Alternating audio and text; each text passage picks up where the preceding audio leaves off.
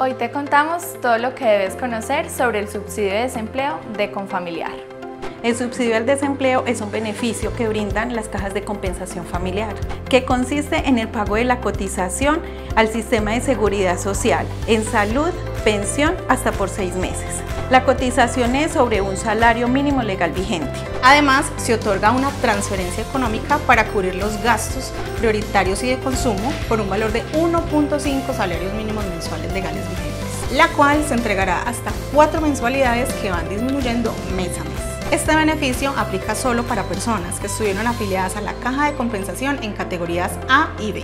Para los trabajadores dependientes del sector público o privado que hayan realizado aportes a la caja de compensación un año de manera continua o discontinua en los últimos tres años.